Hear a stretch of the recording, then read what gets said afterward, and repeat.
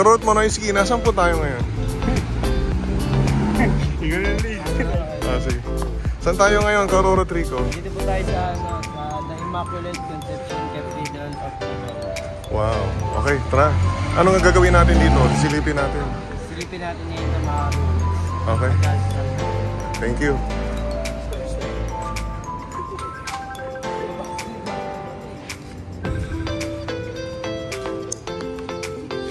Let's go.